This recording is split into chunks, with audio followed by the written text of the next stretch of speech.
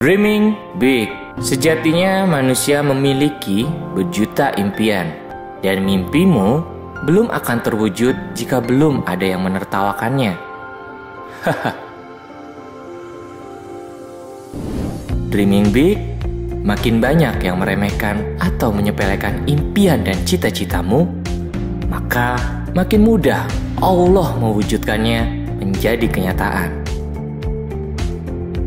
Dreaming big, kunci sukses orang-orang hebat saat ini. Semua orang sukses di luar sana berawal dari mimpi besarnya yang ditulis di catatan atau ditempelkan di dinding kamar mereka.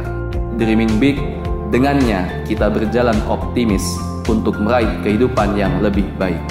Karena keajaiban adalah pertemuan impian yang Allah aminkan. Dreaming big.